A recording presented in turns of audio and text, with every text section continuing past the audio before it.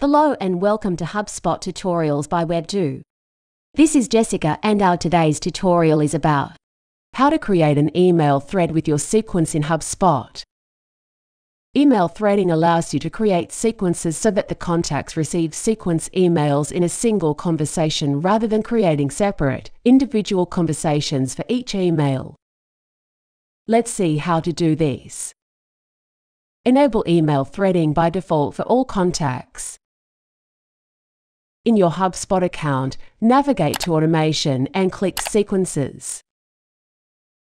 Click the name of the sequence you want to edit.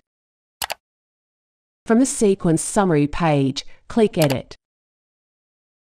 At the top of the Sequence Editor, click the Settings tab.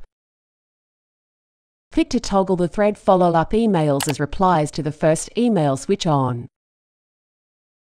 Enable for an individual contact.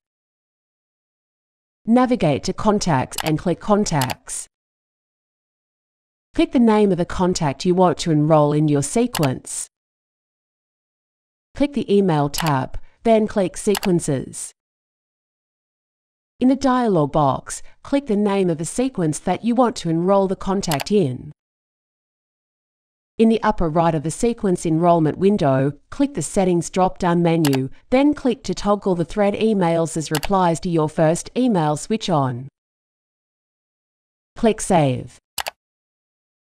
Emails in this sequence will now appear as part of a continuous conversation in this contacts inbox instead of separate email threads. You can expect it to look like threading does in a normal email thread. That's how you can create an email thread with your sequence in HubSpot. Thanks for watching. Feel free to ask any question in the comment section and we will be happy to answer. If you like the video, give us a thumbs up and press the bell icon to subscribe to our channel. To know about our HubSpot services, visit us on www.webdew.com.